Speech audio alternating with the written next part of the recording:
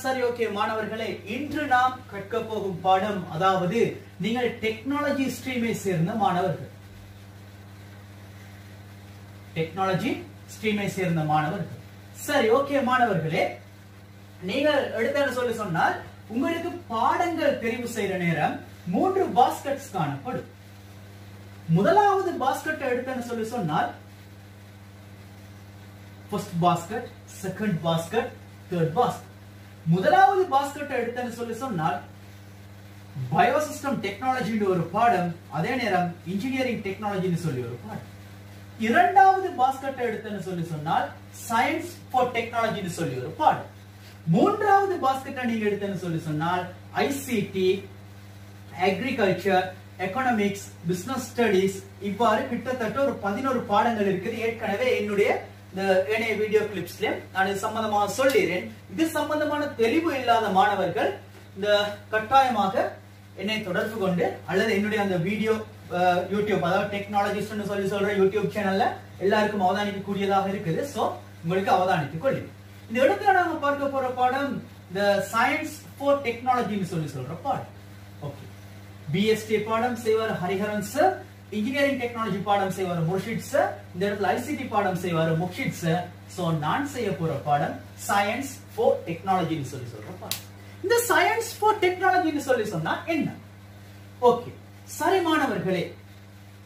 உண்மையை சொன்னு சொல்லி சொன்னால் இந்த நீங்க கிரேட் சிக்ஸ்ல இருந்து ஹிஸ்டரி பாடம் படிச்சீங்க கிரேட் லெவன் வரைக்கும் படிச்சிருப்பீங்க.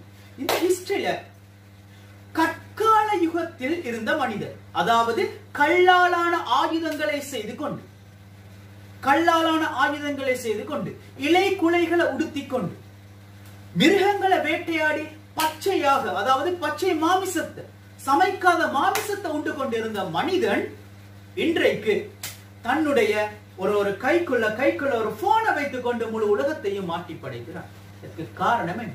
இதற்கு காரணம் யாதெனில் அம்மனிதன் டெக்னாலஜின்னு சொல்லி சொல்றத தன்னுடைய வாழ்க்கையில் எடுத்துக்கொண்டதுதான் இதற்கான காரணம்.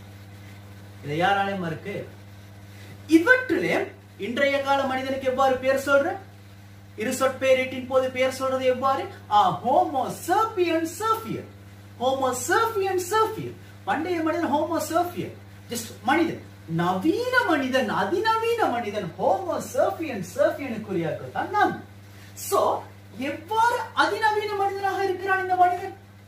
எஸ் அதிநவீன மனிதனாக இருக்கிறதுக்கு காரணம் என்னன்னு சொல்லி சொன்னால் இந்த மனிதன் டெக்னாலஜி வளரும் போது அதற்கு ஏற்ற மாதிரி தன்னை அப்டேட் செய்து கொள்கிறார் நீங்க யோசித்து பாருங்க. இப்போ ஒரு ஒரு ஒரு அறுபது எழுபது வருடங்களுக்கு முன் எவ்வாறு கல்வி நடவடிக்கைகள் மேற்கொள்ளப்பட்டது? எவ்வாறு மேற்கொள்ளப்பட்டது? ஓலை சுவடிகளில் எழுதி பாதுகாத்து வைக்கப்பட்டது. அதன் பிறகு பறவைகளின் இறகுகளை கொண்டு பறவைகளின் இறகுகளை கொண்டு மை அதாவது இங்க தொட்டு கடதாசியில் எழுந்தது அதன் பிறகு இவ்வாறு வளர்ச்சி அடைந்து வளர்ச்சி அடைந்து வந்து இன்றைக்கு நானும் நீங்களும் எதன் மூலம் சந்திக்கிறோம்? ஆன்லைனின் மூலம். வீட்டில் இருந்தவாறே கல்வி.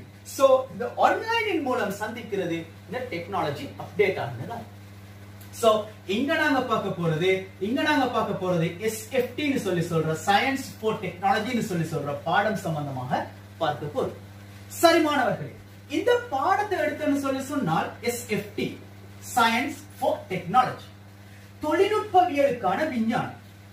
நம்பர் எடுத்தால் அறுபத்தி ஏழுன்னு சொல்லி சொல்றது எக்ஸாம் பேப்பர் நம்பர் அறுபத்தி ஏழு. இந்த பாடத்தை நீங்க எடுத்தேன்னு சொல்லி சொன்னா மாணவர்களே இந்த பாடம் பிரதான ஐந்து பிரிவுகளாக அதாவது ஐந்து வகையான பாடங்கள் இந்த ஒரு பாடத்திற்கு இருக்கு. பிரிவுகள் உட்பிரிவு ஒன்றை எடுத்தான்னு சொல்லி சொன்னா பிசிக்ஸ் அடுத்தது எடுத்தால் கெமிஸ்ட்ரி அடுத்தது எடுத்தால் பயாலஜி அதே நேரம் அடுத்த பாடத்தை எடுத்தோம் சொல்லி சொன்னால்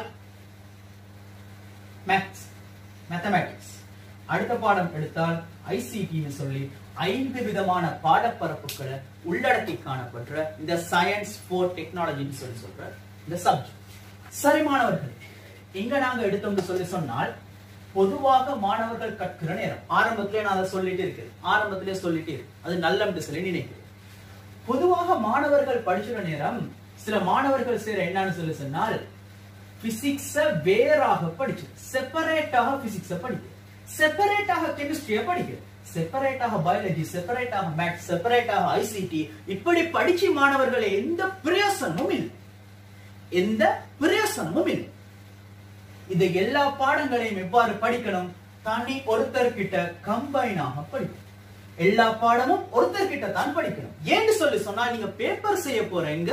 பேப்பர் செய்ய போற எவ்வாறு?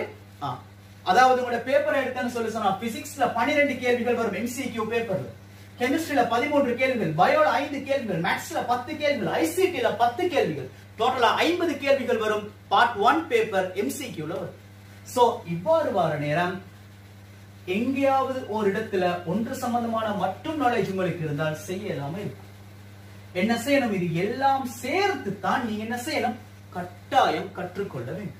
அதை விட்டு விட்டு ஒவ்வொன்றாக பாட் பாட்டாக படிக்க கூடாது இங்க வந்துட்டு மாணவர்களே பிசிக்ஸ்ல படிக்கணும் science for tech the physics கெமிஸ்ட்ரியில படிக்கணும் science for tech the chemistry பயாலஜியில படிக்கணும் science for tech the biology so பாடங்களை செப்பரேட் பண்ணி படிக்கிறது இல்ல இது எல்லாத்தையும் சேர்த்து சயின்ஸ் ஃபார் டெக்னாலஜியாகத்தான் படிக்கணும். விளங்குது?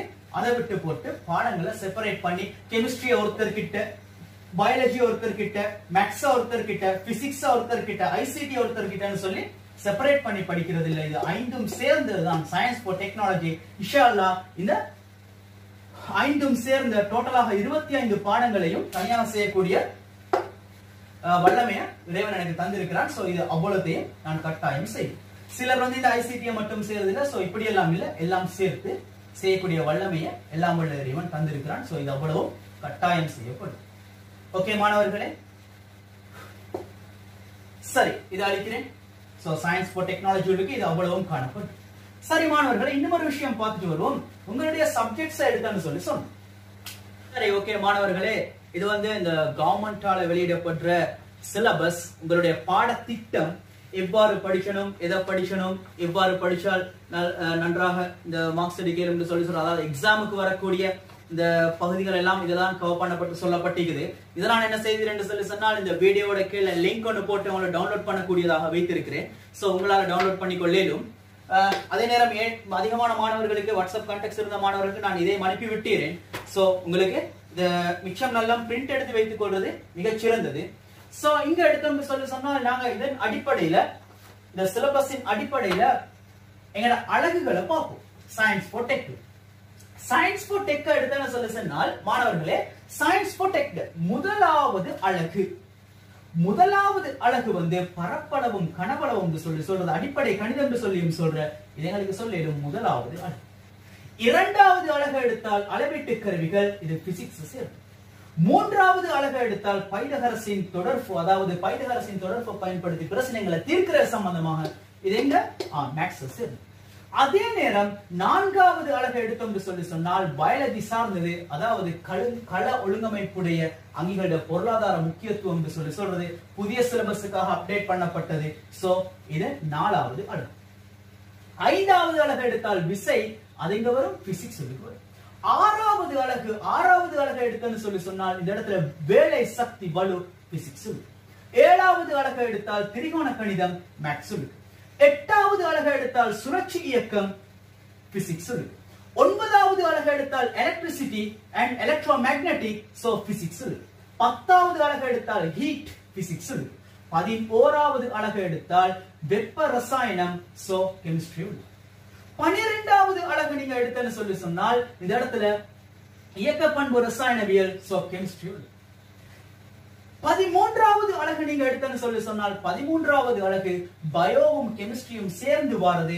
பொதுவாக இதை நான் உள்ளடக்கிறேன். பயாலஜி உள்ளடக்கி சோ அதாவது கார்போஹைட்ரேட் கார்போஹைட்ரேட் அதே நேரம் இந்த உயிரங்கிகளோட அடிப்படை மூலக்கூறுகள் சம்பந்தமாக ஃபுல்லா படிச்சது. கார்போஹைட்ரேட் புரதம் லிபிட் இதெல்லாம் சம்பந்தமாக ஃபுல்லா படிக்கிறது சோ இந்த இடத்துல உள்ளடக்கி பதினான்காவது அழகுன்னு சொல்லி சொல்றது பல்பகுதியங்கள் பல்பகுதியங்கள் சோ அது என்ன சரி இந்த இடத்துல உள்ளடக்கி விட்டு கெமிஸ்ட்ரி உண்டு பதினைந்தாவது அழகுன்னு சொல்லி சொல்றது properties of matter so physics உள்ளடக்கி பதினாறாவது அழகுன்னு சொல்லி சொல்றது ஹைட்ரோ சோ அதுவும் என்ன பிசிக்ஸ் உள்ளடக்கி விட்டு பதினேழாவது அழகுன்னு சொல்லி சொல்றது இண்டஸ்ட்ரியல் கெமிஸ்ட்ரி இந்த இடத்துல உள்ளடக்கி விட்டு பதினெட்டாவது அழகுன்னு சொல்லி சொல்றது இயற்கை உற்பத்திகள் அதுவும் கெமிஸ்ட்ரிக்குரிய பத்தொன்பதாவது அழகுன்னு சொல்லி சொல்றது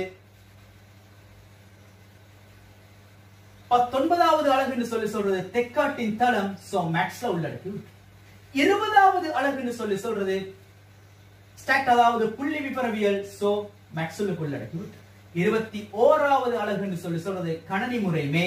இருபத்தி இரண்டாவது அழகுன்னு சொல்லி சொல்றது அதாவது ஆப்பரேட்டிங் சிஸ்டம் இருபத்தி மூன்றாவது அழகுன்னு சொல்லி சொல்றது அப்ளிகேஷன் சாஃப்ட்வேர்ஸ் எப்படி அப்ளை பண்றேன்னு சொல்லி எம்எஸ் வேர்ட் அதே நேரம் MS PowerPoint Microsoft Excel இதெல்லாம் எப்படி அப்ளை பண்றேன்னு சொல்லி சொல்றது. இருபத்தி நாலாவது அழகுன்னு சொல்லி சொல்றது இன்டர்நெட் அண்ட் இமெயில் இருபத்தி ஐந்தாவது அழகுன்னு சொல்லி சொல்ற சூரட் சமநிலை. அதை உள்ளடக்கிறேன். கெமிஸ்ட்ரி உள்ளடக்கிறேன். சோ மாணவர்களே நீங்க படிக்கிற நேரம் என்ன செய்யணும்னு சொல்லி சொன்னா படிக்கிற நேரம் என்ன செய்யணும்னு சொல்லி சொன்னால் பிசிக்ஸ் எல்லாம் ஒருத்தர்கிட்ட படிச்சால் உங்களுக்கு பிளாங்கோட தான் படிக்க கெமிஸ்ட்ரி எல்லாம் படிச்சோம். இடையில பிளாங்க் நிற்கும் வேணா சோ முதலாவது அழக படிச்சவர்கிட்ட தான் இரண்டாவதையும் படிச்சணும் அவற்றை தான் என்ன செய்யணும்? மூன்றாவதையும் படிச்சணும் நாலும் அவற்றை தான் படிச்சணும் ஐந்து அவற்றை தான் படிச்சணும் ஆறு ஏழு எட்டு ஒன்பது பத்து எகேன் பதினொன்று கெமிஸ்ட்ரியும் அதே குறித்த தான் படிச்சணும் இப்படித்தான் படிச்சணுமே தவிர இதை மாறி மாறி ஒவ்வொருத்தர்கிட்ட படிக்கிறது இல்ல. அப்படி படிக்கிறனால தான் தமிழ் மீடியத்துல ரிசல்ட்ஸ் குறைவாக வருது. பொதுவாக தமிழ் மீடியத்துல ரிசர்ச் குறையதுக்கு மிகப்பெரிய காரணம் இவ்வாறு ஒவ்வொரு சப்ஜெக்டும் ஒவ்வொருத்தர் செய்யுது இது எல்லாம் உஃபா அதாவது அதாவது சப் சப்ஜெக்ட்ஸ் தான் சொல்லணும். சோ இது எல்லாம் ஒருத்தர் தான் படிச்சு கொடுங்க விளங்குது? ஓகே இப்ப ஜஸ்ட் ஒரு ஒரு ஒரு ஒரு இடமனுக்கு வந்திருப்பீங்க. ஒரு ஒரு தெளிவான ஒரு மட்டத்துக்கு வந்திருப்பீங்கன்னு சொல்லி நினைக்கிறேன். சரி ஓகே மாணவர்களே. இப்ப நாங்க இன்னும் சொன்னோம்னு சொல்லி சொன்னோம். இப்ப எங்க படிக்கிற சயின்ஸ் ஃபார் சயின்ஸ் ஃபார் டெக்னாலஜின்ற இந்த ஒரு பாடத்தை படிச்சு தரக்கூடிய நபருக்கு பிசிக்ஸ் நாலேஜ் இருக்கணும். கெமிஸ்ட்ரி இருக்கணும் பயோ இருக்கணும் மேக்ஸ் இருக்கணும் ஐசிடி இருக்கணும். இது எங்க அவர் எப்படி அவருக்கு உண்மையில சொன்னு சொல்லி சொன்னால் ஏ லெவல்ல ஏ லெவல்ல கிசி ஏ லெவல்ல டெக்னாலஜியை படிச்சு. யூனிவர்சிட்டி போய் அங்கேயும் டெக்னாலஜி படிக்கிற ஒருத்தர் கிட்ட இந்த நாலேஜ் தாராளமாக இருக்கும். சோ உங்களுக்கு இலகுவாக இந்த நாலேஜை இந்த டெக்னாலஜிஸ்ட் சொல்லி சொல்ற குரூப் கிட்ட இருந்து பெற்றுக்கொள்ளு உண்மையிலே அதுதானே? ஒரு எக்ஸாம்பிள் ஒன்று என்னன்னு சொல்லி சொன்னால் ஒரு மனிதனுக்கு ஒரு சுகையினம் வரும் சுகையினம் வந்த அந்த மனிதர் என்ன செய்யறாருன்னு சொல்லி சொன்னால் தனக்கு சுகையினம் ஆஹ், எழுந்து நடக்கிறதெல்லாம் கஷ்டம்.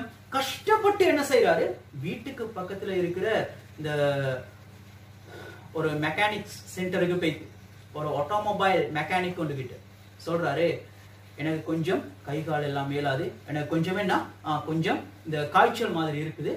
எனக்கு ஆ, என்ன செய்யணும் நிவாரணம் தர இயலுமா இந்த இவர் செய்தது சரியா பிள்ளையா? இன்னொரு எக்ஸாம்பிள் எடுப்போம். ஒரு மனிதனுக்கு இந்த ஒரு ஒரு ஒரு ஒரு ஒரு நபருடைய கார் வந்து கார் பழுதடைந்து விடு இவர் தன்னுடைய காரை என்ன செய்யறாரு ஒரு ஹாஸ்பிட்டலுக்கு எடுத்துட்டு போய் ஒரு டாக்டரோட பேசி டாக்டர் இப்படிதான் என்னுடைய வெஹிக்கல் பழுதாகிட்டு சோ இந்த வெஹிக்கலை கொஞ்சம் செஞ்சு தரையிலுமான்னு சரி டாக்டர்கிட்ட கேட்கிறார் இவர் செஞ்சது சரியான செயல்.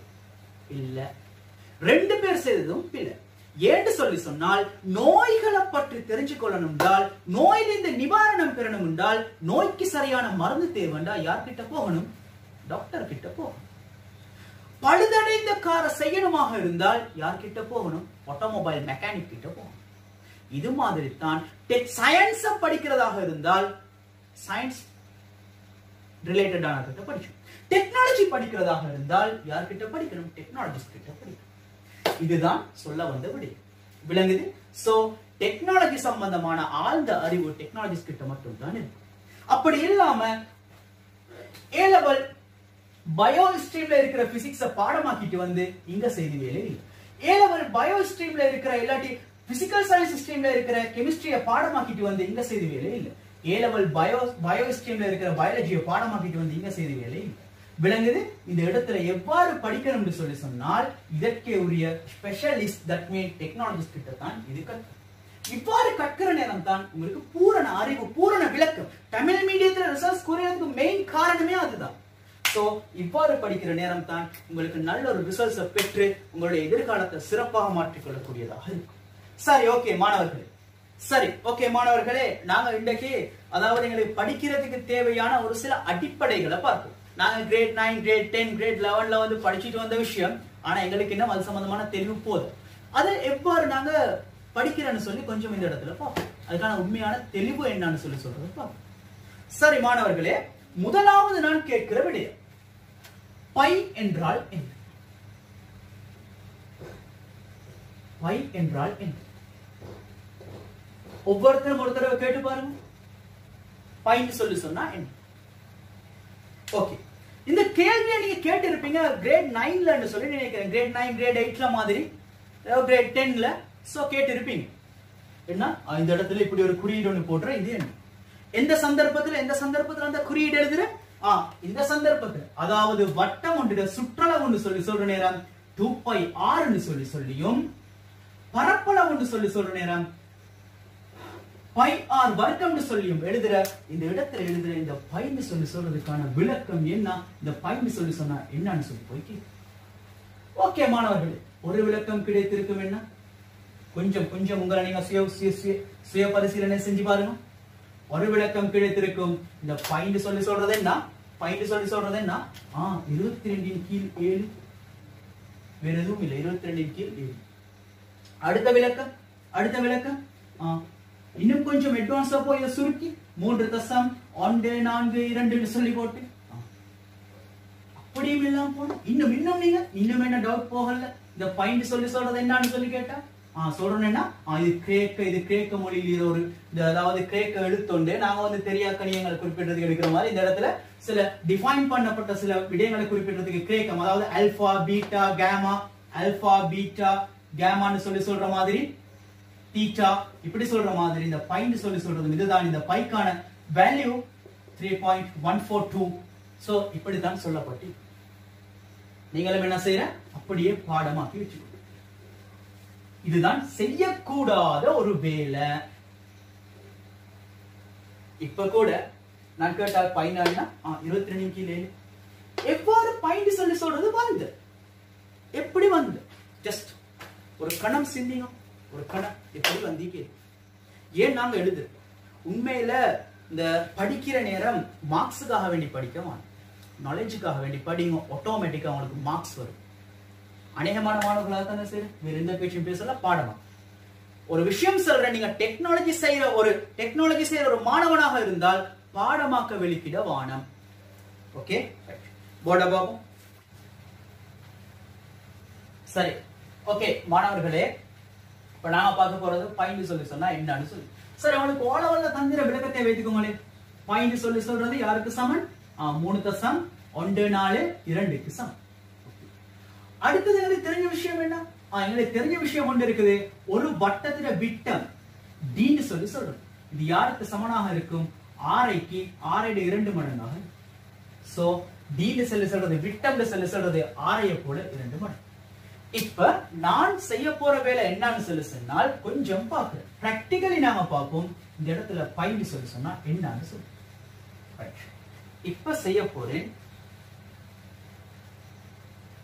ஓகே இப்ப நான் செய்ய போற வேலை என்னன்னு சொல்லி சொன்னால் இந்த இடத்துல ஒரு வட்டம் வந்து கீழே போகுது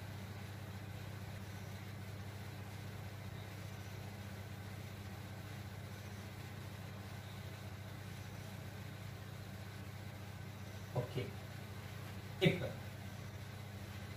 ஆரை என்ன இதுதான் ஆரை என்ன இது ஆரை விட்டம்னு சொல்லி சொல்ற நேரம்? விட்டம்னு சொல்லி சொல்ற நேரம் இந்த கார்னர்ல இந்த இடத்துக்கு தான் விட்டம்னு சொல்லி சொல்றது சோ ஃபர்ஸ்ட்க்கு நான் மார்க் பண்ணிட்டேன். ஆரைன்னு சொல்லி சொல்ற நேரம் ஆரைன்னு சொல்லி சொல்ற நேரம். யாரு ஆரைன்னு சொல்லி சொல்றது? இந்த மையத்திலிருந்து இந்த மையத்திலிருந்து இதற்கு பேர் தான் ஆரைன்னு சொல்லி சொல்றது இங்க எடுத்தன்னு சொல்லி சொன்னாலும் இங்க எடுத்தன்னு சொல்லி சொன்னாலும் ஆரைன்னு சொல்லி சொல்றது. ஆரைன்னு சொல்லி சொல்றது இந்த மையத்துக்கு. தட் மீன் இந்த இந்த மையத்துக்கு இருக்கிறது தான் ஆரை ஆறுன்னு சொல்லி சொல்றது விளங்குது? இந்த இடத்துக்கு தான் ஆரைன்னு சொல்லி சொல்றது விட்டம்னு சொல்லி சொன்னா விட்டம்னு சொல்லி சொன்னா? இந்த பருதியில இருந்து மையத்தினூடாக பருதியில அடுத்த முனைக்கு இருக்கிறது தான் விட்டம்னு சொல்லி சொல்றோம் இப்ப நான் செய்றேன் அடுத்த விஷயம் என்னன்னு சொல்லி சொன்னால் இதுல சுற்றளவு தட் மீன் சர்க்கம்ஃபரன்ஸ் சுற்றளவுன்னு சொல்லி சொல்றது சீன்னு சொல்லி சொல்றது சி சமன் சுற்றளவுன்னு சொல்லி சொல்றோம் இது சுற்றளவு சின்னு சொல்லி சொல்றோம் ரைட் மிச்சம் அவதானமா பார்த்துக்கோ. இப்ப நான் செய்ய போற வேலை என்னன்னு சொல்லி சொன்னால் இது யாருக்கு சமன் இந்த இலையடி இந்த இலையடி இந்த நீளம் யாருக்கு சமன் ஆரைக்கு சமன் இப்ப இந்த இலை யாருக்கு சமன் விட்டத்துக்கு சமனாக இருக்கு. விளங்குது? விட்டத்துக்கு சமனாக இருக்கு. இப்ப ஆரைக்கு சமன் இவ்வாறு இருந்த ஆரைக்கு சமன் இப்படி இருக்கும் போது விட்டத்துக்கு சமனாக இருக்கு. இப்ப நான் செய்யறேன் இந்த இடத்துல இருந்து அளவிட்டு சோ அளவிட்டு ஸ்டார்ட் ஆகிற பாயிண்ட் மார்க் பண்றேன். இந்த பாயிண்ட் இந்த பாயிண்ட்ல இருந்து இது சுற்றளவு அளவு யாரை கொண்டு? விட்டத்தின் அளவு நீளமான ஒரு இலையை கொண்டு அளவு. இந்த இடத்துல இருந்து இந்த இடத்துல இருந்து இந்த இடத்துல எத்தனை தடவை? ஒரு தடவை. ஓகே இங்க இருந்து இங்க எத்தனை தடவை? ஆ ஒரு தடவை. அதன் பிறகு again இந்த இடத்துல ஸ்டார்ட் பண்றேன். இந்த இந்த இடத்துல ஸ்டார்ட் பண்றேன்.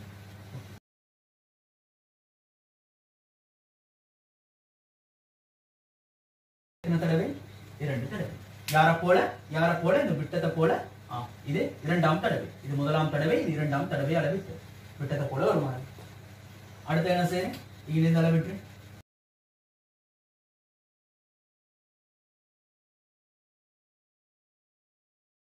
இது எடுத்தால் இது எத்தனாம் தடவை? மூன்றாம் தடவை. சோ இது விட்டத்தை போல விட்டத்தை போல. ஒரு தடவை இரண்டு தடவை மூன்று தடவை. இந்த இடத்தை அவதானிச்சீங்கன்னு சொல்லி சொன்னா மாணவர்களே இன்னும் கொஞ்சம் இருக்குது அளவிட்டு. நாம இதை கல்குலேட் பண்ணி பார்த்தேன்னு சொல்லி சொன்னால் பூஜ்ஜியம் தசம் ஒன்று நாலு இரண்டு மடங்காக இருக்கும். இதுல இந்த இந்த இந்த இலையிட பூஜ்ஜியம் தசம் ஒன்று நாலு இரண்டு மடங்காக இருக்கும். இதால் இப்ப நாம சொல்லுவோம் ஆர் ஆர் டூ ஆர் இது யாருக்கு சமன்? விட்டம் டிக்கு சமன். சோ நான் இதை ஃபுல்லா சேர்த்து எழுதி விட்டுறேன் இதை ஃபுல்லா சேர்த்து நான் செய்து விட்டுறேன் இதை யாருன்னு சொல்லி சொல்றேன்? இதை ஃபுல்லா சேர்த்து நான் யாருன்னு சொல்லி சொல்றேன்? ஆ விட்டம் டின்னு சொல்லி சொல்றேன். சோ நான் இப்ப செய்ய போறேன் நான் இப்ப செய்ய போறேன். இதை ஃபுல்லா சேர்த்து இதை ஃபுல்லா சேர்த்து விட்டம் டின்னு சொல்லி சொல்ல போறேன். Right. இந்த விட்டத்தை போல இந்த எத்தனை தடவை? ஆ ஒரு தடவை. சோ இங்க ஒரு டி இங்க ரெண்டாம் தடவை. சோ இந்த இடத்துல ஒரு டி இங்க மூன்றாம் தடவை சோ இங்க ஒரு டி இங்க பூஜ்ஜியம் தசம் ஒன்று நாலு டி சோ இங்க எடுத்தால் D two D three D மூணு தசம் ஒன்று நாலு இரண்டு டி விளங்குது? இப்ப பாயிண்ட் சொல்லி சொல்லு. என்ன வரை விளக்கணம் ஒரு வட்டத்தின் சுற்றளவு கீழ். விட்டம்னு சொல்லி சொல்லு. வட்டத்தின் சுற்றளவு கொஞ்சம் எனக்கு சொல்லுவோம் வட்டத்தின் சுற்றளவு கொஞ்சம் சொல்லுவோம் D two D three D மூணு தசம் ஒன்று நாலு இரண்டு டி சோ மூணு தசம் ஒன்று நாலு இரண்டு டி வட்டத்தின் சுற்று. வட்டத்தின் விட்டத்தை எடுத்தேன்னு சொல்லு சொன்னா டி இது யாருக்கு சமன்? பைக்கு சமனாக இருக்கும். கொஞ்சம் அவதானிங்க மாணவர்களே டியும் டியும் கேன்சல் பண்ணிடும். சோ ஃபைனல் ஆன்சர் என்ன வரும்? பை சமன் மூணு தசம் ஒன்று நான்கு இரண்டுன்னு சொல்லி. எங்க? கிரேட் நைன்ல எல்லாம் ஸ்கூல்ல பாடமாக்கின தானே பாடமாக்கின? இது தானே பாடமாக்கின? மூணு தசம் ஒன்று நாலு இரண்டு. இல்லைன்னு சொல்லி சொன்னா பை சமன் இருபத்தி ரெண்டின் கீழ் ஏழு எல்லாம் பாடமாக்கினது. விளங்குது? ஓகே நோட் பண்ணி விடுங்க. இங்க செய்த விஷயங்கள் என்ன? செய்த விஷயங்கள் என்ன? ஆ, இது ஆரை அதே நேரம் இது விட்டத்தின் அளவு நீளமான ஒரு இலை. இங்க இருந்த ஒரு தடவை. இரண்டு தடவை மூன்று தடவை. சோ விட்டத்தை போல மூன்று மடங்கு.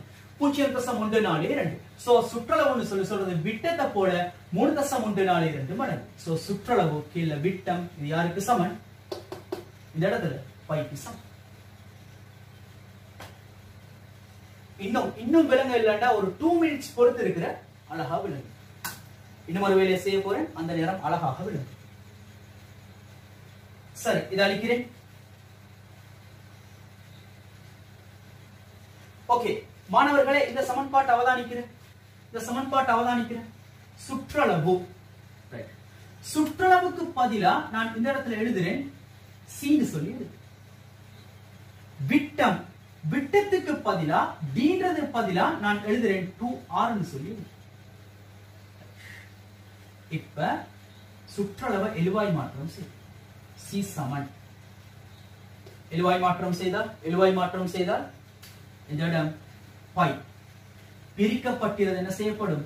பிரிக்கப்படும். சோ டூ ஆர் எனவே எனக்கு சொல்லிலும் எனக்கு சொல்லிலும் இந்த இடத்துல சுற்றளவுன்னு சொல்லி சொல்லு சுற்றளவுன்னு சொல்லி சொல்லு இரண்டு இரண்டு எனக்கு என்ன செய்யலாம்? முன்னால் எழுதலாம். டூ பை ஆர் இது இந்த இடத்துல பாடமாக்குது ஓலவல்ல பாடமாக்கி பாடமாக்கு விளங்குது. எல்லாமே பிராக்டிக்கல் உண்டு இருக்கு. காகம் கருப்பு அது அப்படித்தான். கடல் தண்ணி உப்பு அது அப்படித்தான் இல்ல. சுற்றளவுக்கு சமன்பாடு டூ பையார் அது அப்படித்தான் இல்ல. சுற்றளவுக்கு சமன்பாடு இப்படித்தான் வந்து என்ன செய்த? ஆரை ஆரை அளவு சரி ஆரை விட்டத்தினால் நீளமான ஒரு வில் சோ ஒரு இலை இது என்ன செய்யற மூன்று மூன்று மடங்கு. பூஜ்ஜியம் தசம் ஒன்று நாலு இரண்டு சோ மூன்று தசம் ஒன்று நாலு இரண்டு. மூணு தசம் ஒன்று நாலு இரண்டு கீழ் விட்டம் டி ஸோ இப்படித்தான் என்ன வந்த சுற்றளவுன்னு சொல்லி சொல்றது வந்து இழுவாய் மாற்றம் செய்யும். நோட் பண்ணி விட்டு சிம்பிள் விஷயம். ஓகே அதை விட்டு போட்டு டூ பை ஆர் அதைத்தான் சொல்றது ஒரு டெக்னாலஜிஸ்ட் கிட்ட படிக்கிற நேரமும் சாதாரண ஒருத்தர் கிட்ட படிக்கிற நேரம் இருக்கிற வித்தியாசம். எல்லாமே ப்ராக்டிக்கலி நிரூபி காட்டலாம். எல்லாமே. உங்களோட சீனியர்ஸ் கிளாஸ் அட்டன் பண்ணாத ஜஸ்ட் விடணும். எல்லாமே ப்ராக்டிக்கல் இந்த இடத்துல இருக்கிற இந்த பொருட்கள் எல்லாம் இந்த பொருட்கள் எல்லாம் உங்களோட சீனியர்ஸுக்கு படிச்சு கொடுக்க கொண்டு வந்து வச்சதுதான். இந்த பொருட்கள் எல்லாம். எல்லாம் உங்களோட சீனியர்ஸுக்கு இன்றைக்கு படிச்சு கொடுக்க அதாவது இந்திய கிளாஸ் உங்களோட சீனியர்ஸ் தெரிஞ்சதுக்கு முதல்ல அதுக்கு கொண்டு வந்த விடயங்கள் தான் இது அவ்வளவு. விளங்குது? ஓகே எல்லாம் ப்ராக்டிக்கலி தான் படிக்கும். அதை விட்டு போட்டு தியரிய பாடமாக்கி வேலை இல்லை. நோட் பண்ற மாணவர்கள். ரைட் நான் பார்க்க இருக்கிற டாபிக் அடுத்ததாக மின் கடத்தல் கமா வெப்ப கடத்தல். மின் கடத்தல் கமா வெப்ப கடத்தல் எங்களுக்கு அடிக்கடி இந்த மின் கடத்தலும் வெப்ப கடத்தலும் சம்பந்தமான நாலேஜ் தேவைப்படும். ஓகே இந்த இடத்துல மின் கடத்தல் வெப்ப கடத்தல் எவ்வாறு மின் கடத்தல் நடைபெறுது? அதே நேரம் எவ்வாறு வெப்ப கடத்தல் நடைபெறுது? இது கட்டாயம் தெரிஞ்சிருக்க வேண்டிய விடயம் ஓகே மாணவர்களே மின் கடத்தல் வெப்ப கடத்தல் சோ இந்த மின் கடத்தலையும் வெப்ப கடத்தலையும் எடுத்துக்கொண்டு சொல்லி சொன்னா பொதுவாக உலோகங்கள் என்ன செய்யும்? மின்னையும் கடத்தும் வெப்பத்தையும் கடத்தும். எவ்வாறு மின்னையும் வெப்பத்தையும் கடத்தும்? சிம்பிளாக ஒரு விஷயம் சொல்றேன். வீட்டுல இருக்கிற ஒரு ஸ்பூன் ஒன்று எடுத்து ஒரு ஸ்பூன் ஒன்று எடுத்து வீட்டுல இருக்கிற ஒரு ஸ்பூன் ஒன்று எடுத்து என்ன செய்யணும்னு சொல்லி சொன்னால் செய்து பார்க்க வேணாம் ஜஸ்ட் சொல்றேன். என்ன செய்ய போறேன்? ஆ, கொண்டு போய் ஒரு பிளக்ல ஒரு five ampere five ampere plug போட்டுல வைக்க போறேன். வைத்துட்டு தொட்ட அந்த கணமே என்ன என்ன செய்யும்? மின்சாரம் தாக்கும். அதே நேரம் அதே நேரம் அவர்களை நான் செய்ய போற அடுத்த வேலை என்னன்னு சொல்லி சொன்னால் ஒரு ஒரு இந்த எரிந்து கொண்டிருக்கும் ஒரு ஒரு ஒரு- ஒரு ஒரு தீச்சுவாலையில கொண்டு போய் இந்த கரண்டியை பிடிக்கிறேன். நான் சொல்றேன் இந்த தீச்சுவாலையோட வெப்பநிலை ஃபார் எக்ஸாம்பிள் நான் சொல்றேன் ஐநூறு பாகை செல்சியஸ் இப்போ நான் இந்த கரண்டியை கொண்டு போய் இந்த ஸ்பூனை கொண்டு போய் பிடிச்ச அந்த கணமே என்ன என்ன ஹீட் தாக்குமா? தட் மீன் வெப்பம் தாக்குமா? நான் வெப்பத்தை உணர்வேனா? நான் கொண்டு போய் ஃபைவ் ஆம்பியர் பிளக் பேஸ்ல வைத்த உடனே எனக்கு கரண்ட் பட்டுச்சு. தட் மீன் மின் கடத்த பட்டுச்சு. ஆனால் இந்த இடத்துல நான் இந்த வெப்ப முதல்ல பிடிச்சிட்டீரேன் இப்ப என்ன வெப்பம் தாக்குமா? வைத்த உடனே வைத்த அந்த கணமே என்ன வெப்பம் தாக்குமா? இல்ல அவ்வாறு தாக்காது. எவ்வாறு வெப்பம் தாக்கும்? ஆ, நேரம் செல்ல நேரம் செல்ல படிப்படியாகத்தான் தாக்கும். தட் மீன் இந்த முனை இந்த முனை ஐநூறு பாகை செல்சியஸ் ஆக இருந்தன்னு சொல்லி சொன்னால் இந்த முனை ஒரு எண்பது பாகை செல்சியஸ் தான் வந்து சேரும் விளங்குது. சோ வெப்பம் எவ்வாறு கடத்தப்படும்? அதே நேரம் மின் எவ்வாறு கடத்தப்படும் சொல்லி சொல்றது நான் கட்டாயம் இந்த இடத்துல பார்க்கத்தான் ஓகே சரி மாணவர்கள். இப்ப நான் என்ன செய்ய போறேன்னு சொல்லி சொன்னால் ஒரு கடத்தி அதாவது அந்த ஸ்பூனை எடுக்கிறேன். அந்த ஸ்பூனை எடு அந்த ஸ்பூனை எடுக்கணும். அந்த ஸ்பூனை எடுத்து முதலாவது செய்ய போறேன். என்ன கடத்தல்? மின் கடத்தல்னு சொல்லி சொல்றது சரி. அதன் பிறகு வெப்ப கடத்தல்னு சொல்லி சொல்றது. வெப்ப கடத்தல்னு சொல்லி சொல்றது. ஓகே. மின் கடத்தலை எடுத்தேன்னு சொல்லி சொன்னால் மின் கடத்தலை நீங்க எடுத்தேன்னு சொல்லி சொன்னால் இந்த இடம் என்ன செய்ய போறீங்க? ஆ ஒரு ஏசி கரண்ட் கொடுக்க போறீங்க. இந்த இடத்துல ஒரு ஏசி கரண்ட் கொடுக்க போறீங்க. நான் சொல்றேன். ஒரு ஃபைவ் ஆம்பியர் கரண்ட் கொடுத்தேன்னு சொல்லி. இந்த இடத்துல என்ன செய்யும்? ஆ, நான் கைகளால் தொடும் போது என்ன ஃபைவ் ஆம்பியர் கரண்ட் தாக்கும். தொட்டால் ஃபைவ் ஆம்பியர் கரண்ட் தாக்கும். ஆனால் இந்த இடம் நான் கொடுக்கிறேன் ஐநூறு பாகை செல்சியஸ் தான் வெப்பநிலையை கொடுக்கும். இந்த இடம் கிட்டத்தட்ட எண்பது பாகை செல்சியஸ் ஆக இருக்கும். ஆனால் நேரம் செல்லும் ஐநூறு பாகை செல்சியஸ் இந்த இடத்துக்கு எண்பது பாகை செல்சியஸ் மாறுறதுக்கு நேரம் எடுக்கும். என்ன காரணம்? ஓகே மாணவர்களே. மின் கடத்தல் எவ்வாறு நடைபெறும் சொல்லி சொன்னா மின் கடத்தல் எவ்வாறு நடைபெறும் சொல்லி சொன்னால் இலத்திரன்களின் ஓட்டத்தின் காரணமாகத்தான் மின் கடத்தல் நடைபெறும். இலத்திரன்கள் எந்த திசையில ஓடுதோ அதற்கு எதிர் திசையில் என்ன செய்யப்படும்? மின் கடத்தப்படும். எனவே நாங்க கடத்திகள்ல மின் எவ்வாறு கடத்தப்படும்? இலத்திரன்கள் ஓட்டத்துக்கு எதிர் திசையில மின் ஓட்டம் நடைபெறும். எனவே மின் ஓட்டம் விரைவாக வந்து சேரும். என்னுடைய கைகளை அடி வெப்ப கடத்தல் எடுத்துக்கணும்னு சொல்லி சொன்னால் ஆ வெப்பம் கடத்தப்படுறது எவ்வாறு சொல்லி சொன்னால் இங்க எடுத்தால் இலத்திரன் புரோத்தன் நியூத்திரன் பொசித்திரன் போன்ற பல துணிக்கைகள் இந்த வெப்ப முதலுக்கு தட் மீன் இந்த வெப்ப கடத்தியுள்ளுக்கு காணப்படும். நான் இந்த முனைய வெப்பமேற்றும் போது நான் இந்த முனைய வெப்பமேற்றும் போது என்ன செய்யும்? இங்க இருக்கிற முதலாவது துணிக்கை வெப்பத்தை பெற்று வைப்ரேட் ஆகும். அந்த துணிக்கையோட வைப்ரேஷனின் காரணமாக சக்தியை பெற்று அடுத்த துணிக்கை வைப்ரேட் ஆகும். இந்த துணிக்கையோட வைப்ரேஷன் காரணமாக சக்தியை பெற்று அடுத்த துணிக்கை வைப்ரேட் ஆகும். இதன் காரணமாக சக்தியை பெற்று அடுத்த துணிக்கை வைப்ரேட் ஆகும். சோ இவ்வாறு ஒவ்வொரு துணிக்கையும் படிப்படியாக வைப்ரேட் ஆகும். இவ்வாறு வைப்ரேட் ஆகிற நேரம் சக்தி இழப்பும் ஏற்படும் அதனாலதான் இங்கு ஐநூறு பாகை செல்சியஸ் இந்த இடம் எண்பது பாகை செல்சியஸாக இருக்கிறது. அதே நேரம் வெப்பம் கடந்து வாரதுக்கு கிட்டத்தட்ட three to five minutes time எடுக்கும். இந்த ஸ்போன் இந்த என்னுடைய என்னுடைய என்னுடைய விரல்களை வெப்பம் வந்து தாக்குறதுக்கு three to five minutes time எடுக்கும். ஆனால் இந்த வெப் இந்த இந்த மின் முதல் என்ன செய்யுது வெயிட் அடுத்த கணமே வெயிட் அடுத்த கணமே என்ன தாக்கும்? காரணம் என்ன? இலத்திரங்களின் நகர்வால அதுக்கு எதிர்த்து சில மின் கடத்தப்படும். ஆனால் வெப்பமைப்பாறு கடத்தப்படுற இந்த துணிக்கைகளின் அதிர்வினால கடத்தப்பட்டு சோ இந்த இடத்துல நாங்க எடுக்கிற கடைசி முடிவு என்ன? மின் கடத்தல் நடைபெறும் இலத்திரன்களின் நகர்வு. வெப்ப கடத்தல் நடைபெறும் இலத்திரன் புரோத்தன் நியூத்திரன் சொல்லி சொல்ற நேரம் எல்லாம் சேர்த்து எனக்கு சொல்லிடும் துணிக்கைகளின் அதிர்வுன்னு சொல்லி சொல்ற சோ இலத்திரன்களின் நகர்வு மின் கடத்தலுக்கு வெப்பம் கடத்தலுக்கு துணிக்கைகளின் அதிர்வு தான் காரணமாக இருக்கும். ஓகே மாணவர்களே? சரி நோட் பண்ணி விட்டு இதெல்லாம் கட்டாயம் தெரிஞ்சிருக்க வேண்டிய பேசிக்ஸ் டெக்னாலஜியை அதாவது டெக்னாலஜி போல படிக்கிறது. சயின்ஸ் போல படிக்கிறது இல்லை டெக்னாலஜி ஓகே இந்த இன்னும் பேசணும். பேப்பர்ஸ் என்ன மாதிரி வார உங்களுக்கு? எப்படி பேப்பர்ஸ் அடுத்த சிலபஸ் இனி வரும் கிளாஸ்ல தொடர்ந்து பேசுவோம் நான் ஓகே சரி மாணவர்களே இந்த இன்றைக்கு என்னோட ஃபர்ஸ்ட் கிளாஸ் தானே? ஸோ இந்த சில விஷயங்கள் நான் காட்டுறேன். எவ்வாறு இந்த டெக்னாலஜியை நாங்கள் அப்ளை பண்ணுறோன்னு சொல்லி. அதாவது இந்த நோட்ஸை படிச்சு போட்டு சும்மா இருக்கிறது இல்லை டெக்னாலஜின்னு சொல்லி சொல்றது. அப்ளை பண்ணுறோம் இப்போ சொல்றேன் இந்த நான் ஒரு டாஸ்க் கொண்டு தான் என்னன்னு சொல்லி சொன்னால் இந்த பாட்டிலோட மூடியை திறக்கிறேன் எப்படி திறக்கிற? எப்படி திறக்கிற? ஆ யாராவது ஒரு மாணவன்ட்ட பாட்டிலோட மூடியை திறந்துதாங்கன்னு சொல்லி சொன்னால் சாதாரணமாக இந்த நோட்ஸை பாடமாக்கின குரூப் அப்படி கிட்ட கொடுத்தா என்ன செய்வாங்கன்னு சொல்லி சொன்னால் மூடியை இந்த பக்கம் திருப்பு. திற இயலாது. ஸோ அடுத்த பக்கம் திறந்தா திரும் பொதுவாக இப்படி தானே செய்யற இந்த இடத்துல இருக்கிற இந்த இந்த இந்த ஸ்க்ரோ ஆணி அதாவது அதாவது இந்த இந்த இந்த ஆணியை கழட்டி தர சொன்னால் என்ன செய்யற ஆ ஒரு பக்கம் திருப்புற கலருது இல்ல இருக்குது சோ அடுத்த பக்கம் திருப்பினா கலரு. சோ இப்படித்தானே இப்படித்தானே செய்து பார்க்கிற? இப்படி இல்ல. அதாவது நாம வந்து இது படிக்கிற நேரம். விசைகள் இந்த இடத்துல எழுதி காட்டின பாடங்கள்ல விசைகள்னு சொல்லி சொல்லி இருக்கிற அந்த பாடம் படிக்கிற நேரம் ஒரு விதி ஒன்று படிச்சோம். வழக்கை விதின்னு சொல்லி. தட் மீன் வழக்கை விதின்னு சொல்லி சொன்னால் வலது கையின் பெருவிரலையும் ஏனைய நான்கு விரல்களையும் ஒன்றுக்கொன்று செங்குத்தாக வைக்கும் சுழலும் திசையில் ஏனைய நான்கு விரல்களையும் பிடித்தால் பெருவிரல் விளையுளின் திசையை சின்ன ஒரு எக்ஸாம்பிள் பாருங்க மாணவர்களே. இந்த போத்தல் மூடி எங்க வரணும்? மேல் நோக்கி வரணும். தட் மீன் இந்த போத்தல் மூடி ரிமூவ் ஆகணும்னா மேல் நோக்கி வரணும்.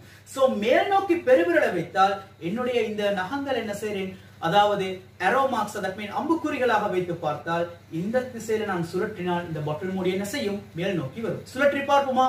Okay are ready right so இப்போ என்ன செய்யறேன் இந்த திசையில சுழற்று நான் என்ன செய்றேன்? இந்த திசையில சுழற்று சுழற்றினு சொல்லி சொன்னால் இந்த போத்தல் மூடி என்ன செய்யுது? மேல் நோக்கி.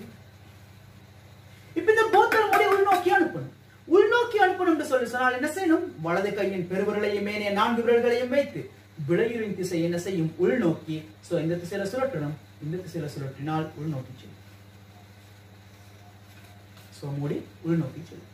இதே மாதிரி தான் இதே மாதிரி தான் நம்ம தாரன் ஒரு டாஸ்க் என்னென்றால் இந்த ஆணி என்ன செய்யணும்? உள்நோக்கி அனுப்பணும். உள்நோக்கி அனுப்பணும்னு சொல்லி சொன்னால் இந்த ஸ்க்ரூ டிரைவரை அதாவது அதாவது இந்த ஸ்க்ரூவை இந்த பக்கம் திருப்பணும் நான் ஸ்க்ரூ டிரைவரை உள்நோக்கி போகணும். சோ பெருவிரல் என்ன செய்யறேன்? உள்நோக்கி பிடிக்கும் ஏனைய நான்கு விரல்களும் இந்த திசையை காட்டும். சோ இவ்வாறு நான் சுழற்றுவேனே ஆனால் இவ்வாறு நான் சுழற்றுவேனே ஆனால் இது ஆணி என்ன செய்யும்? ஆ, உள்நோக்கி செல்லும். இந்த ஆணி வெளிநோக்கி வரணுமாக இருந்தா? இந்த ஆணி வெளிநோக்கி வரணுமாக இருந்தா? வெளிநோக்கி வரணும். சோ நான் என்ன செய்யணும்? இந்த திசையில சுழற்றணும். சுழற்றி பார்ப்போமா? ஓகே நான் என்ன செய்யணும்? இந்த திசையில சுழற்றணும். ஏன்? வலது கையின் வலது கையின் பெருவிரலையும் மேலே நான்கு விரல்களையும் ஒன்றுக்கொன்று செங்குத்தாக வை சுழலும் திசையில நான்கு விரல்களையும் பிடித்தால் விடையும் திசைய பெருவிரல் தரும். சோ நான் என்ன செய்யறேன் இவ்வாறு வைத்து சுழலும் திசையில நான்கு விரல்களையும் பிடிக்கிறேன். விளையும் திசை நடக்குதா இல்லையா ஓகே விளங்குது. அதே மாதிரி தான் இந்த விடை. இப்ப சொல்றேன் இந்த இடத்துல. நான் இந்த இந்த போர்டு உள்ளுக்கு இந்த ஆணி என்ன செய்யணும் இந்த போர்டு உள்ளுக்கு அனுப்பணும் சோ நான் எந்த திசையில சுழற்றணும்? இவ்வாறு வைத்தால் போர்டு உள்ளுக்கு போகணும். எனவே பெருவிரலை பெருவிரலையுமே நான்கு விரல்களை. ஒன்றுக்கொன்று செங்குத்தாக வைத்து உள்நோக்கி அனுப்பணும். சோ இந்த திசையில இவ்வாறு சுழற்றினாலும் வெளிநோக்கி எடுக்கணுமாக இருந்தா இந்த டிரெக்ஷன்ல சுழற்றணும். விளங்குது. ஸோ இது மாதிரி படிக்கிற விடயங்களை அன்றாட வாழ்க்கையில அப்ளை பண்றதுக்கு பேர் தான் டெக்னாலஜின்னு சொல்லி சொல்றோம். விளங்குது. ஓகே அடுத்தது அநேகமான மாணவர்களுக்கு இருக்கிற பிரச்சனை என்னன்னு சொல்லி சொன்னால் அநேகமான மாணவர்கள் கேட்கிற கேள்வி டெக்னாலஜி படிச்சா என்னதாக வரலாம்? உண்மையிலே இதுக்கு பதில் நான் வந்து ஆரம்பத்துல சொல்ல இல்லை ஆரம்பத்துல சொல்ல இல்லை. டெக்னாலஜின்னு இதுதான் சொல்லி சொல்லிட்டு சொல்றேன். அதுக்கு தான் நான் இவ்வளவு நேரம் இருந்தேன். ஓகே பொதுவாக இந்த இலங்கையை நாங்கள் எடுத்துக்கணும்னு சொல்லி சொன்னால் ஆரம்பத்தில் தட் மீன் எழுபதுகளில் ஆயிரத்தி தொள்ளாயிரத்தி எழுபதுகளில் இந்த இலங்கையில நாலு ரூபாய் கொடுத்தார். ஸ்ரீலங்கன் ரூபி நாலு ரூபாய் கொடுத்தன்னு சொல்லி சொன்னால் அது சமப்படுத்தும் ஒரு அமெரிக்கன் டாலரை சமப்படுத்தும். ஆனால் இன்றைக்கு இன்றைக்கு இன்றைக்கு கிட்டத்தட்ட நூற்றி எண்பது ரூபாய் கொடுக்கணும் ஒரு அமெரிக்கன் டாலரை சமப்படுத்தும். என்ன காரணம்? அமெரிக்கன் டாலர் பெருமதி மாறல சரி அமெரிக்கன் அமெரிக்கன் டாலர் வந்து வீழ்ச்சி அடையல. எது வீழ்ச்சி அடையுது? இலங்கை நாணயம் வீழ்ச்சி அடையுது. தராசுல தராசுல ஒரு பக்கம் அமெரிக்கன் டாலரையும் ஒரு பக்கம் இலங்கையில நாணயத்தையும் வைத்தன்னு சொல்லி சொன்னால் இலங்கை இலங்கை காசையும் வைத்தன்னு சொல்லி சொன்னால் எது வீழ்ச்சி அடைஞ்சிக்கிறது பணவீக்கம்? இலங்கை பணவீக்கம் அடைந்திருக்கு இதுக்கான காரணம் என்ன? இதுக்கான காரணம் முக்கியமான காரணம் என்னன்னு சொல்லி சொன்னால் இலங்கையை பொறுத்த மட்டும் வினைத்திறனான அதாவது ஃபீல்ட் எக்ஸ்பர்ட்னு சொல்லி சொல்றது மிக மிக குறைவு.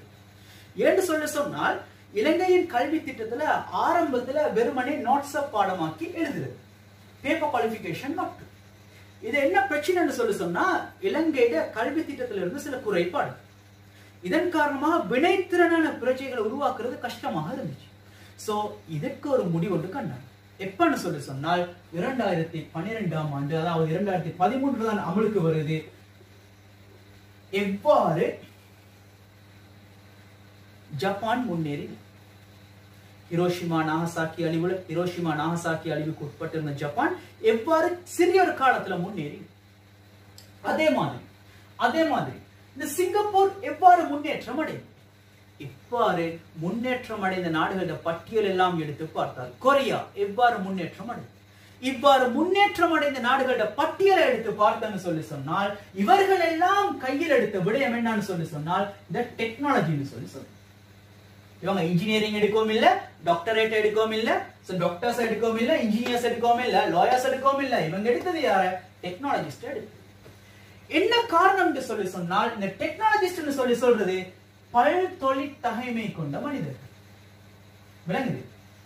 கார் ஓட்டவும் தெரியும். ஓட்டுற கார் அப்சரானா செஞ்சுட்டு போகவும் தெரியும். வீடு கட்டவும் தெரியும். அந்த வீட்டுக்கு இந்த எலக்ட்ரானிக்ஸ் கனெக்ஷன் கொடுக்கவும் தெரியும். ஆட்டோமேஷனா மாத்தவும் தெரியும். சோ இவங்களுக்கு தான் சொல்றேன் நான் சொல்லி டெக்னாலஜிஸ்ட் சொல்லி சொல்றேன். சோ இந்த குரூப் என்ன செய்தது? இந்த குரூப் இந்த ஸ்ரீலங்கா முன்னேற்றம் தான் தேவை. ஏன்? இந்த குரூப் தொழிற்சாலைகளுக்கு செல்லும் போது. இந்த டெக்னாலஜி அறிவுள்ள மனிதர்கள் தொழிற்சாலைகளுக்கு செல்லும் போது இந்த மனிதர்களின் அறிவை யூஸ் பண்ணி புதிய புதிய கண்டுபிடிப்புகள் வெளியில இந்த கண்டுபிடிப்புகள் வெளியில வர நேரம் அதனை இந்த நாட்டில் உற்பத்தி செய்யும் வினைத்திறனான உற்பத்தி நடைபெறும். வினைத்திறனான உற்பத்தி நடைபெறுவதால் அந்த உற்பத்தி மிகை உற்பத்தியாக மாறும். இந்த மிகை உற்பத்தி என்ன செய்யலாம்? ஏற்றுமதி செய்யலாம். ஏனைய நாடுகளுக்கு ஏற்றுமதி செய்வதனால் இந்த நாட்டின் அந்நிய செலாவணி அதிகரிக்கும் எனவே உள்நாட்டு வருமானம் அதிகரிக்கும். சோ இலங்கை நாடு என்ன செய்யும்? முன்னேறும். இதற்காக வேண்டித்தான் இந்த டெக்னாலஜிஸ்ட் கொண்டு சோ இலங்கை நாடே இலங்கை நாடே யார நம்பி இருக்குது? டெக்னாலஜிஸ்ட்களால் மட்டும்தான். எவ்வாறு ஜப்பான டெக்னாலஜிஸ்ட்கள் உயர்த்தினோ எவ்வாறு மலேசியாவை உயர்த்தினோ எவ்வாறு சிங்கப்பூரை உயர்த்தினோ அதே மாதிரி இந்த இலங்கையையும் டெக்னாலஜிஸ்களாக தான் உயர்த்த முடியும். ஸோ டெக்னாலஜி படிச்சு போட்டு அடுத்த கேட்கிற இடம் என்னன்னு சொல்லி சொன்னா டெக்னாலஜி படிச்சு போட்டு தட் மீன் இந்த தவறான மனிதர்களோட தப்பான வழிகாட்டல்கள் தவறான வழிகாட்டல். என்னன்னு சொல்லி சொன்னால் இந்த டெக்னாலஜி படிச்சு போட்டு என்ன செய்யும்? சும்மா அதாவது பருந்தில்லாத ஒரு கூர்க்குருவி பருந்தாகுமா என்று சொல்லி சொல்ற அது மாதிரி தனக்கு தெரிஞ்சதை ஒவ்வொன்று சொல்லி கொண்டு தெரியும் உண்மையிலே நடந்து கொண்டு இருக்கு. தனக்கு தெரிஞ்சதை சொல்லி கொண்டு தெரியும் ஒவ்வொன்று ஸோ அப்படி இருக்கும் போது இந்த டெக்னாலஜி படிச்சால் என்னதாக வரலாம்? டாக்டர் டீச்சர் லாயர் சொல்லி சொல்ற மாதிரி டெக்னாலஜி படிச்சால் டெக்னாலஜி படிச்சால் டெக்னாலஜிஸ்ட் என்ன பேர்? டெக்னாலஜிஸ்ட் இந்த டெக்னாலஜிஸ்ட்னு சொல்லி சொல்றது? இலங்கையில வரப்போற புதிய ஒரு கேட்டகரி ஓகே தப்பான அந்த அபிப்பிராயங்கள் மாதிரி இவங்க போய் இந்த ஏதோ ஒரு ஆட்டோ ஆட்டோ இந்த ஆட்டோமொபைல் கேரேஜ்ல வாகனம் கரடி கொண்டு இருக்கவும் தேவையில்லை. இந்த மெஷின்ஸ் ஆப்ரேட் பண்ணி கொண்டு இருக்கவும் தேவையில்லை.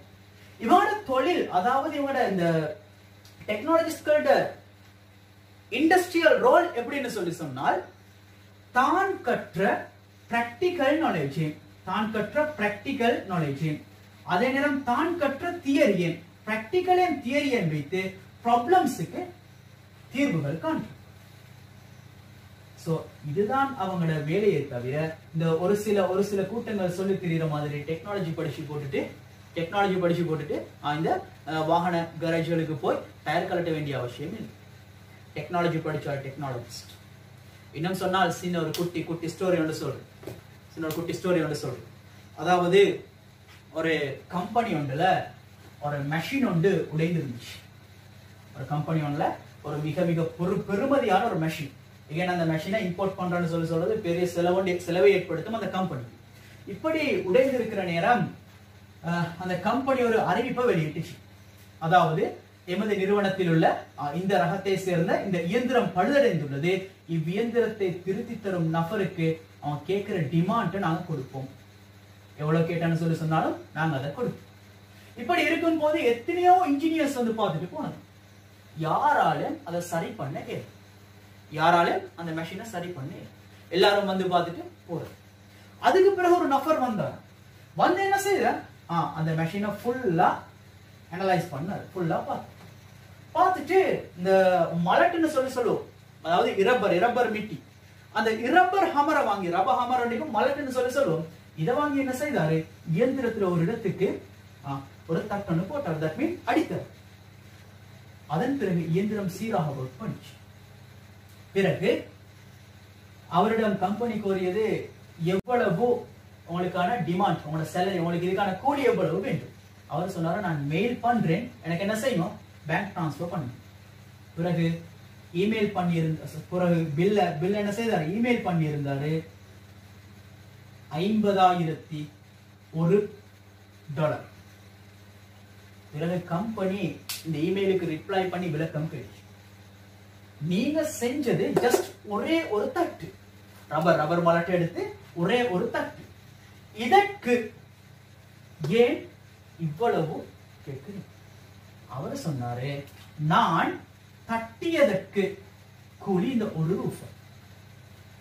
ஐம்பதாயிரம் ரூபாய் எதற்கெனில் இந்த ஐம்பதாயிரம் ரூபாய் எனக்கு எதற்கெனில் எந்த இடத்துல அந்த தட்டை அந்த அடியை அடிச்சணும்னு சொல்லி இந்த இடத்துல நான் ரப்பர் மலட்டால் அடிக்கணும்னு சொல்லி கண்டுபிடிச்சனோ அதற்காக வேண்டி அந்த நாலேஜுக்காக வேண்டி தான் நான் நான் போட்ட இந்த ஒரே ஒரு தட்டுக்கு ஒரு டாலர் தான் ஸோ இந்த கம்பெனி என்ன செய்யுது? ஐம்பதாயிரத்தி ஒரு டாலரை அந்த ஆளுக்கு செட்டில் பண்ணு. இதுதான் டெக்னாலஜின்னு சொல்லி சொல்லு கற்றுட்டு அப்படியே படிச்சு வச்சுட்டு ஓரமாக்கி வச்சிருந்தல்ல அது தன்னுடைய லைஃப்ல பயன்படுத்தி. விலங்குது மாணவர்களே ஓகே சரி மாணவர்களே இந்த இன்றைய கிளாஸ்ல கடைசி விடயமாக நாங்க பார்ப்போம். எவ்வாறு சயின்ஸ் போடெக் பாடத்தை கற்றுக்கொள்ற அதாவது எவ்வாறு படிக்கிறேன்னு சொல்லி சொல்ற விஷயத்தை பார்ப்போம். அதாவது ஐந்து விடயங்கள்ல நீங்க கன்சிடர் பண்ணன்னு சொல்லி சொன்னால் ஐந்து விடயங்களை எடுத்து நடந்தால் உங்களுக்கு சிம்பிளாக படிச்சு அந்த ஐந்து விடயங்களும் என்னென்னு சொல்லி பார்ப்போம். சரி இன்றைய கிளாஸ்ல இன்றைய கிளாஸ்ல கடைசி செஷன்ல அந்த ஒரே ஒரு விடயத்தை பற்றி மட்டும் நாங்கள் இந்த இடத்துல கலந்துரையாடும் இனிவரும் கிளாஸஸ்ல ஏனைய நான்கு விடயங்கள் சம்பந்தமாகவும் கலந்துரையாடும் ஓகே. சரி மாணவர்களே முதலாவது விடயம் ஒரு மாணவன் வந்து சிறப்பாக படிக்கிறதுக்கு முதலாவது இருக்க வேண்டியது வந்து ஸ்பேசிங் எஃபெக்ட்னு சொல்லி சார் இந்த ஸ்பேசிங் எஃபெக்ட் அதாவது ஸ்பேசிங் எஃபெக்டை வச்சு படிக்கிற நேரம் உண்மைக்கும் நன்றாக கற்கிறது மனசுல பதியும். அதே நேரம் எக்ஸாம் செய்யும் சிம்பிளாக எதிர்கொள்ளக்கூடியதாகும். இரண்டாவது டெஸ்ட் யுவர் ஃப்ளூயன்சின்னு சொல்லி சார் டெஸ்ட் யுவர் ஃப்ளூயன்சின்னு சொல்லி சார் மூன்றாவது. மூன்றாவது எடுத்தான்னு சொல்லி சொன்னால் அதாவது ஸ்லீப்பை மேனேஜ் பண்றது.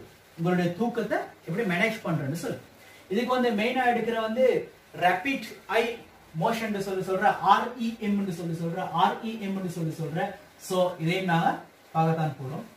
அடுத்தது நான்காவது வந்து சொல்றது ஜைகானிக் எஃபெக்ட் சொல்லி சொல்றோம் அதாவது ஜைகானிக் எஃபெக்ட் தட் மீன் ஜைகானிக் சொல்லி சொல்றவரு இந்த சொன்ன விடயம் இது சம்பந்தமாகவும் நாங்க பார்க்கத்தான் அடுத்தது ஐந்தாவது வந்து செய்ய வேண்டிய விடயம் சிறப்பாக கற்கிறதுக்கும் கற்றது மனசுல பதிகிறதுக்கும் வந்து ஐந்தாவது செய்ய வேண்டிய விடயம் test yourself and teach others சொல்லி சொல்றோம்.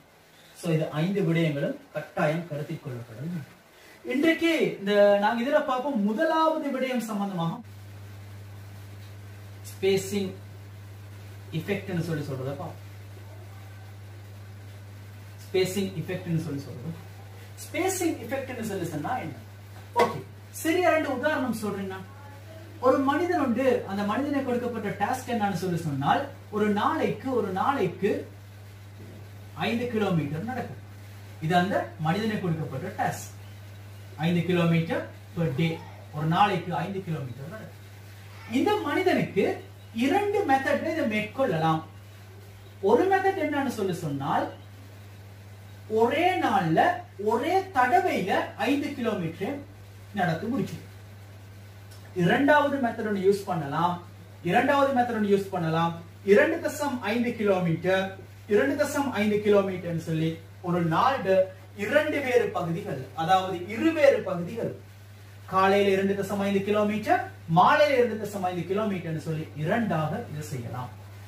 அல்லது மெத்தட் ஒன்னின் படி மாலையிலே ஐந்து கிலோமீட்டர் இல்லாட்டி காலையிலே ஐந்து கிலோமீட்டர்னு சொல்லி ஒரே தடவையில செல்லும்.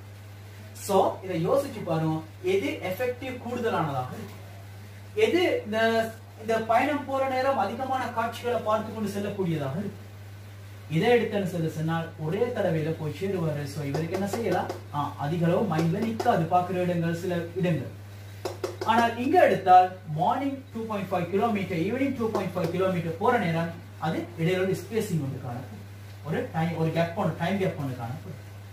இதே மாதிரி தான் நான் சொல்றேன் ஒரு மாணவன் வந்து படிக்கும் ஒரு மாணவனுக்கு படிக்கிறது கொடுக்கப்பட்டிருந்த நேரம் மாணவனுக்கு கொடுக்க படிக்கிறது கொடுக்கப்பட்டிருந்த நேரம் நான் சொல்றேன் ஃபோர் ஹவர்ஸ் படிக்கணும். ஒரு நாளைக்கு ஃபோர் ஹவர்ஸ் கட்டாயம் படிக்கணும். இந்த மாணவனுக்கு இரண்டு மெத்தட்ஸ் கையாளலாம். ஃபோர் ஹவர்ஸ் படிக்கிறது. ஒரு மெத்தட் நான் சொன்னேன்னு சொல்லி சொன்னால் இந்த ஃபோர் ஹவர்ஸ் படிக்கிறதுக்கு மார்னிங் எயிட் ஏஎம்க்கு மார்னிங் எயிட்டுக்கு எழும்பி டுவெல் ஏஎம் வரையில எந்த விதமான மார்னிங் எயிட் ஏஎம்க்கு படிக்கிறதுக்கு போய் டுவெல் பிஎம் வரையில தொடர்ந்து ஃபோர் ஹவர்ஸ் இந்த மாணவனால படிக்கலாம். அல்லது இந்த மாணவனுக்கு இன்னொரு வேலை செய்யலாம். எயிட் ஏஎம்ல இருந்து நைன் ஏஎம் அதுக்கு பிறகு நைன் பிப்டீன் ஏஎம்ல இருந்து டென் பிப்டீன் ஏஎம் அதுக்கு பிறகு டென் தேர்ட்டி ஏஎம்ல இருந்து லெவன் தேர்ட்டி ஏஎம் அதன் பிறகு ஈவினிங் அதன் பிறகு ஈவினிங் ஈவினிங் எடுத்தோம்னு சொல்லி சொன்னா ஈவினிங் என்ன செய்யலாம்? சிக்ஸ் பிஎம்ல இருந்து அவருக்கு என்ன செய்யலாம்? செவன் பிஎம் வரைக்கும் படிக்கலாம் இது இரண்டுல எது எஃபிஷியன்சி கூடுதலாக இருக்கு? இதுக்கு இன்னும் ஒரு விஷயம் நான் சொல்றேன். நீங்க ஒரு ஃபில்ம் ஒன்று பார்த்தேன்னு சொல்லி சொன்னேன் ஒரு படம் ஒன்று ஒரு ஃபில்ம் ஒரு ஃபில்ம் ஒன்று பார்த்தேன்னு சொல்லி சொன்னேன் ஒரு திரைப்படம் ஒன்று பார்த்தேன். பொதுவாக உங்களுடைய மைண்ட்ல அந்த படத்தை ரீகால் பண்ற நேரம் உங்களுடைய மைண்ட்ல உங்களுடைய அதாவது உங்களுடைய மூளையில எந்த விடயம் இருக்கும்? படத்தில ஆரம்ப கட்டம் ஸ்டார்ட் இருக்கும். அதே நேரம் படத்துல முடிவு எண்டு தான் மைண்ட்ல இருக்கும். இதைத்தான் ஈஸியாக ரீகால் பண்ணக்கூடியதாக இருக்கும். இந்த இடையில நடந்த விடயங்கள் எல்லாம் என்ன செய்திருக்கும்? அவ்வளவு ஞாபகம் இல்லாமல் தான் இருக்கும். அதே மாதிரி தான் ஒரு மாணவன் என்ன செய்யற? எட்டு மணிக்கு ஸ்டார்ட் பண்ணி பன்னிரெண்டு மணி வரைக்கும் தொடர்ந்து ஃபோர் ஹவர்ஸ் படிக்கிறேன். நான் சொல்றேன் உங்களுடைய இந்த பயாலஜி பாடத்தை படிக்கணும். சோ பயாலஜி எடுத்துக்கணும்னு சொல்லி சொன்னா நான்காவது பாடத்தை படிச்சோம் சோ நான்காவது பாடத்தை எடுத்துக்கணும்னு சொல்லி சொன்னால் four point one four point two four point three four point four four point five four point six four point seven அதாவது கள ஒழுங்கமைப்பு கள ஒழுங்கமைப்பு நுண்ணங்கிகள் நுண்ணங்கிகளுடைய கைத்தொழில் பிரயோகங்கள் ஒருவத்திலே இருபத்திலே தாவரங்களோட பொருளாதார பயன்கள் இலங்கையில் உள்ள இயற்கை காடுகள். அடுத்து வந்து படிச்சுள்ளது? ஆ இடைய வளர்ப்பு அதன் பிறகு படிச்சுள்ளது. முள்ளந்தண்டொடிகள் முள்ளந்தண்டொடிகளின் பொருளாதார பயன். ஒரு மாணவன் ஸ்டார்ட் பண்றது ஃபோர் பாயிண்ட் ஒன்ல ஸ்டார்ட் பண்ணி டுவெல் ஆகும் போது அந்த மாணவன் ஃபோர் பாயிண்ட் செவனை படிக்க முடியும் ஆனால் இந்த மாணவன் என்ன செய்யற ஃபோர் பாயிண்ட் ஒன்னை ஸ்டார்ட் பண்ணி ஃபோர் பாயிண்ட் டூ வரைக்கும் படிக்கணும் இங்க ஃபோர் பாயிண்ட் த்ரீயை ஸ்டார்ட் பண்ணி ஃபோர் பாயிண்ட் ஃபோர் வரைக்கும் படிக்கணும் இங்க ஃபோர் பாயிண்ட் ஃபைவ் ஸ்டார்ட் பண்ணி ஃபோர் பாயிண்ட் சிக்ஸ் வரைக்கும் படிக்கணும் இங்க ஃபோர் பாயிண்ட் செவனை நைட் ஃபுல்லாக படிக்க முடியும் தட் மீன் ஈவினிங் டைம் ஃபுல்லாக படிக்க முடியும் இப்ப எந்த இடம் எஃபிஷியன்சி கூடுதலாக இருக்கு அதிக அளவு பிரயோசனம் உடையதாக உடையதாக இருக்கு எந்த எந்த பிரேக்கும் இல்லாமல் தொடர்ச்சியாக படிக்கிற மாணவனுக்கு அதிக அளவு ஃபோக்கஸ் இருக்கும் ஃபோர் பாயிண்ட் ஒன்லையும் ஃபோர் பாயிண்ட் செவன் என்ற பாடத்திலையும் ஸ்டார்ட்லையும் எண்ட்லையும் இந்த திரைப்படம் மாதிரி ஸ்டார்ட்லையும் எண்ட்லையும் மட்டும் தான் அதிக அளவு ஃபோக்கஸ் இருக்கும் ஸோ ஃபோர் பாயிண்ட் ஒன்லையும் ஃபோர் பாயிண்ட் செவன் ஸ்பேசிங் இடைவெளி விட்டு படிக்கிற இந்த மாணவனுக்கு என்ன செய்யும்?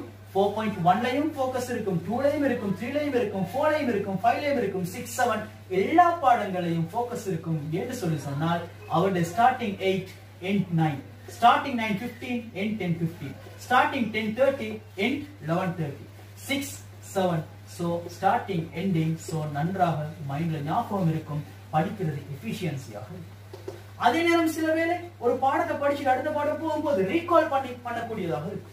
ரீகால் தட் மீன் மீள மீள அந்த பாடத்தை ஞாபகப்படுத்தக்கூடியதாக இருக்கும். சோ இந்த முறையை விட இந்த முறையை விட இந்த முறை தான் சிறந்தது. இதுக்குத்தான் பேர் சொல்ற ஸ்பேசிங் இஃபெக்ட்னு சொல்லி விளங்குது ஓகே நாங்க அடுத்த இரண்டாவது மூன்றாவது நாலு ஐந்து இந்த முறைகள் எல்லாம் என்ன செய்வோம்? அடுத்த கிளாஸ்ல ஓகே இந்த முறைகள் எல்லாம் நாங்க அடுத்த கிளாஸ்ல பார்ப்போம். சரி ஓகே மாணவர்களே அடுத்த கிளாஸ் உங்களை சந்திக்கும் வரை உங்களிடமிருந்து விடைபெறுகிறேன். நான் ராஷிக் எம் ரிஃபான்